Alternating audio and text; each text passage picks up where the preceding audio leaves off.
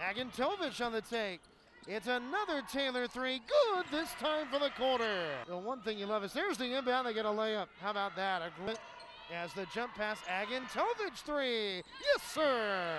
Five rebound. Beautiful dribble, drive, and layup on a spinning drive by Carmen Segura, who wins the contested battle, makes the move to her left, goes up strong and scores.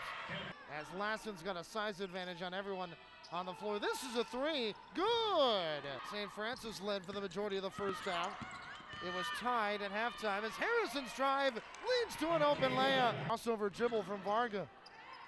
Van Ness with a quick trigger. Good. Aryna Taylor's left alone. She'll take the three. Good.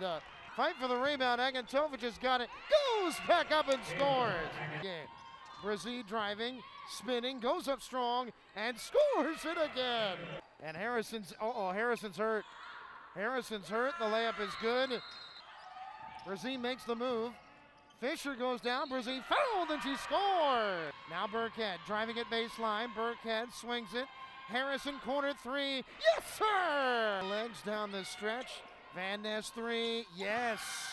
Oh, Varga, what a move.